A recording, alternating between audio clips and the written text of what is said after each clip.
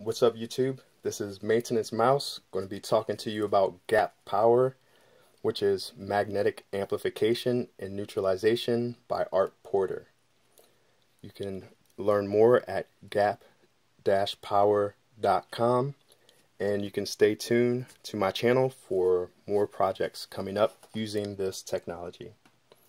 Now what you have is an electromagnetic coil coupled with a ferromagnetic core and a permanent magnet. When you add a charge, electrical current to the electromagnet, you can either enhance, magnify, amplify, multiply the size of the magnetic field that is at the tip of the core. Or you can reverse the polarity and neutralize the magnetic field at the tip of the core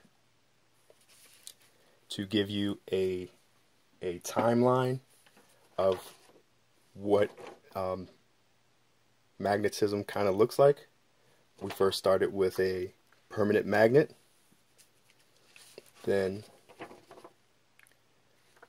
permanent magnet on a ferromagnetic core. We switch to the electromagnet. Then electromagnet on a ferromagnetic core, which enhance the magnetic field as well.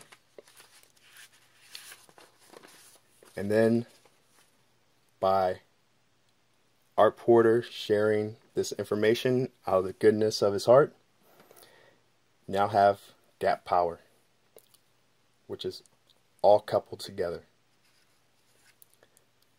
If you have any questions, feel free to ask. Thank you.